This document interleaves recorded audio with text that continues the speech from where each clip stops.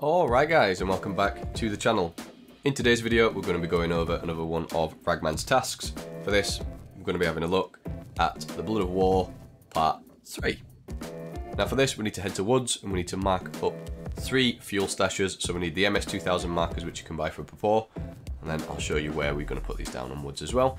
Before we get into it I just want to say if you find this guide useful please consider leaving a like and subscribing to the channel because that'll help me out a massive amount but without the way let's get into it. So here we are, looking at a map of woods.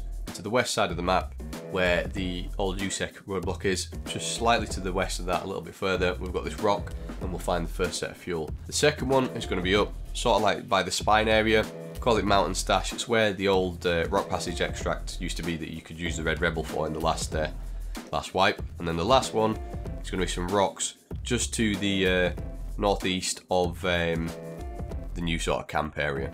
But let's get into it and I'll show you that in raid. So here we are, we've got the old Scav house over there. To the left of us, we've got the USEC roadblock thingy-majiggy. And then to the left of us again, we've got this big rock. Now, a lot of people used to use this last wipe to get the Shturman in heaven headshots. So you can find people laying down camping on top of there. If we come to the back of it, this is his first full fuel stash and that's where we're going to put down the first MS2000 marker. And let's head over to the second one. So here we are we're on the top of spine looking over towards the uh, lumberyard so yeah you can see we stood on spine here. Sniper scav sometimes spawns up there. And we're going to head behind us here. Keep that big large rock that the sniper scav uh, spawns on keep that to your left. And then you'll see an opening in this rock face, which currently is in front of us. And we're going to head in between here. And this is where the old extract used to be that we could use the Red Rebel for. And tucked in right at the back is where we're going to find the second set of fuel. And there we go, mark it down on there, and let's head to the last one. So here we are.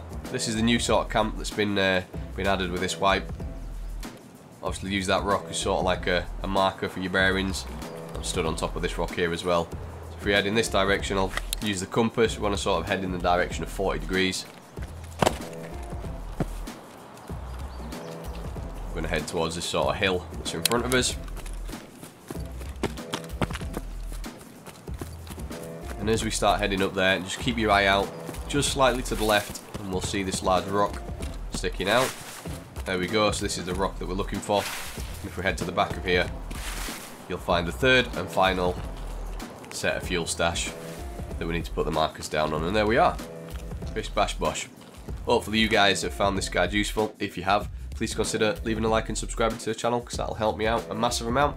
I also go live on Twitch most weekends, so come and hit me up over there if you've got any questions. But until next time, ciao for now.